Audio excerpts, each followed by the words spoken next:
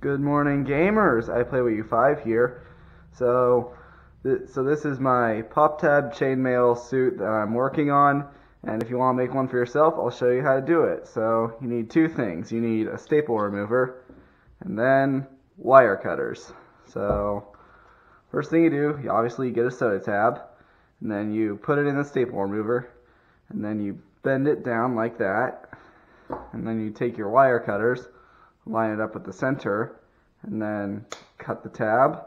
And then you have a little cut in here, and then you can link it to your suit or whatever you're building. So just slide it into there, and then also slide it into there.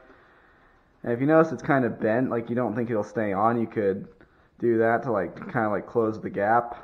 So anyway, that's all I have to show for today, and I'll see you in the next one. Peace!